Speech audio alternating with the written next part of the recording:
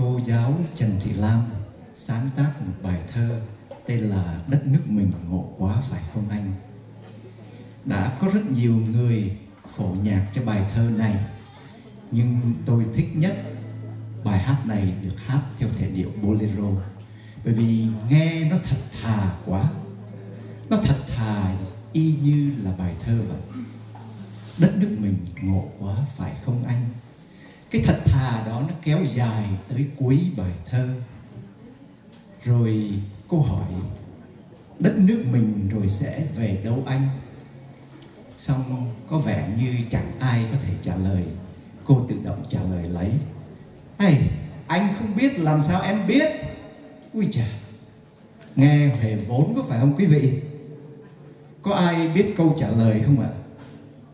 Hay là thôi ta cứ liều? Ta gửi lên trời xanh kiếm câu trả lời. Ta hỏi người bên cạnh, ta hỏi người đứng trước, ta hỏi người đứng sau câu trả lời. À ai muốn trả lời thì trả lời. Đừng hỏi tôi nha. Dạ thưa quý vị, vậy ai là người sẽ trả lời? Xin mời quý vị lắng nghe câu hỏi.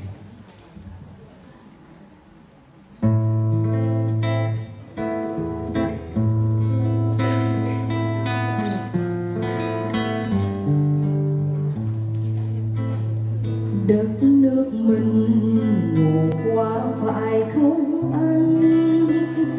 Bốn ngàn tuổi vẫn không chịu lớn. Bốn ngàn tuổi mà vẫn còn u mơ. Trước bắn công dần không biết kêu đôi. Đất nước mình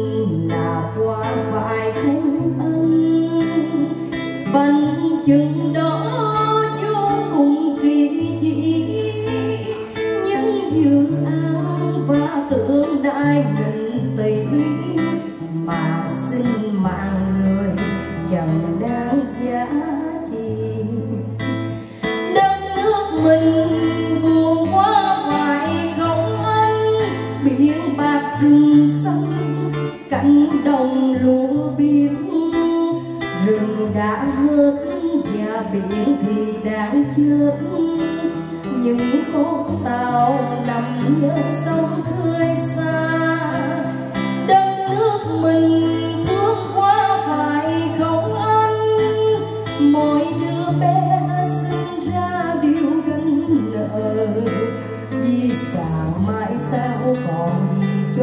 con cháu, để trước năm cháu không phải cúi đầu. Đất nước mình rồi sẽ về đâu anh anh không biết em làm sao biết? Hội trời xanh và hỏi người sâu trước. Đất nước sẽ về đâu?